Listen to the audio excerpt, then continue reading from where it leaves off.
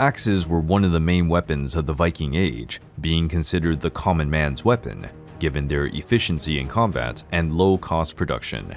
The heads of the axes were made of iron and attached with wooden handles. Battle axes were distinguished by wide blades and downward projecting spurs, resembling the long beard worn by Viking warriors. For this reason, the weapon was also called a bearded axe. The axe's spur was used as a hook to pull the enemy's shield, leaving him vulnerable to attacks. Another terrifying axe used in battle was the Dane axe. The blade was light and very thin, with great cutting ability. The long handles could be up to one and a half meters long, providing a great reach during combat. The seax was a long knife used by Viking and Saxon warriors. With a single edge and heavy blade, this slightly crude weapon was relatively simple to use and produce compared to the valuable swords. A wealthier warrior might have a larger seax, some as large as swords. Seaxes were usually carried in a scabbard suspended horizontally from the belt. Some seaxes were adorned with precious metal ornaments and elaborate designs, and were worn as a symbol of high status by warriors. Some people prefer to use a seax instead of a sword in combat, since a shorter weapon could be more effective during close combat against a shielded wall. The short blade was also more easily concealed behind a shield, ready to deliver a quick and unexpected blow or cut against the enemy. The spear was the most used weapon during the Viking Age. Like other cultures, the Vikings used spears as both attack and defense weapons. A well-placed wall of shields with spears pointing forward was a formidable obstacle in a battle. Spears could also be thrown at enemies, although models with shorter points and handles were used to accomplish this. The spear's points were made of iron. They were often decorated with precious metal inlays or geometric designs. The spearheads were attached to wooden shafts with a rivet, although these spears could measure 2 to 3 meters in length. Despite being a common weapon, the spear had great cultural significance for Viking warriors. It was the main weapon of Odin, king of the Norse gods and god of war. The sword was the most prestigious weapon in Norse society. Its production was intricate. For this reason, they were rare and overly expensive. Of the more than 100 weapons found in pagan burials from the Viking era in Iceland, only 16 were swords. This confirms that few warriors could have such a weapon. Members of the nobility or elite warriors usually owned swords. For this reason, swords were commonly passed down as family heirlooms or buried next to the owner's body. Kings and tribal chiefs could buy swords with guards, pommels, and handles adorned with precious metals and jewelry. Viking-era swords usually had two sharp edges and were usually used with one hand. The other held the shield. Some of the best Viking swords were imported from the Rhine region and had the name Ulfberht written on the blade.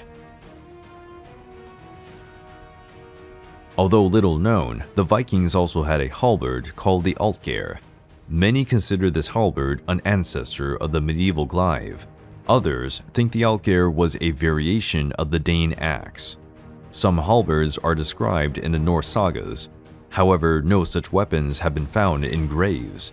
They may have been rare or not part of the Viking funerary customs.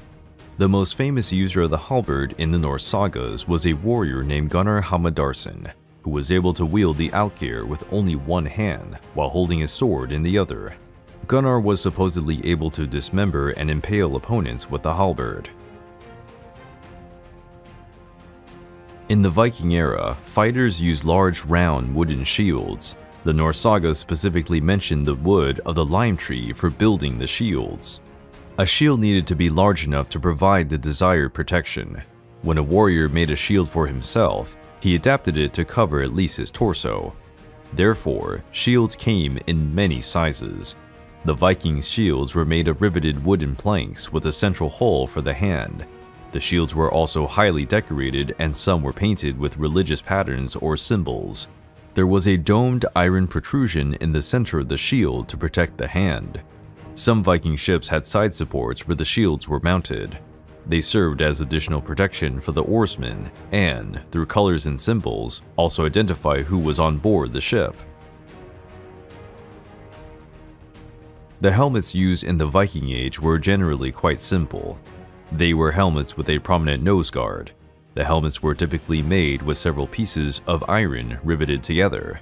This made it easier to produce, but the strength was inferior compared to medieval elms. Other styles of helmets have been found in excavations. The best known is a helmet found in 10th century Norway. This helmet has a covering like spectacles, protecting much of the face, and allowing the eyes to have a good angle of vision. Wealthy warriors were able to have more decorated helmets with bronze inlays and detailed carvings. Contrary to widespread belief, the Viking helmets used in battle did not have horns. However, it is possible that helmets adorned with horns and bird wings were used in some ceremonies.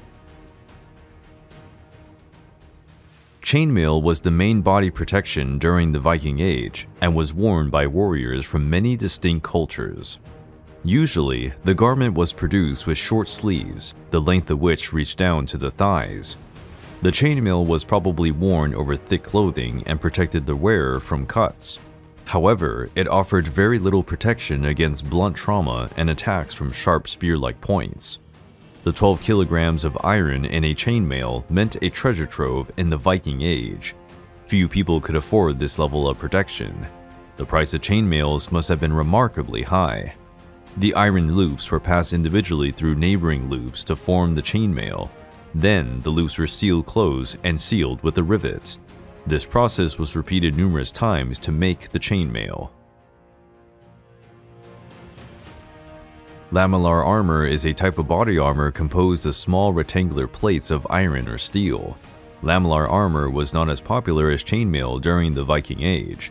However, archaeological finds show that this type of armor was used in Scandinavian regions. According to historical sources, the Byzantine Empire of the Rus of Kiev partially influenced Viking armor. Some Vikings were mercenaries for both peoples. Although it seems innovative, lamellar armor was quite old, Evidence indicates that the Assyrians, in the early Iron Age, were responsible for this armor's development. Lamellar armor became most popular among the Vikings who sailed and lived in the Baltic region. Some Vikings had a rather peculiar horn on their waist called the Gjallarhorn, or war horn. In Norse mythology, this horn was associated with the god Heimdallr and the sage Mimir, the war horn could be used as a trumpet to give orders to troops in battles, or to indicate the presence of enemies. Another purpose of the horn was to act as a drinking receptacle, often used at feasts to drink the much-loved Viking mead.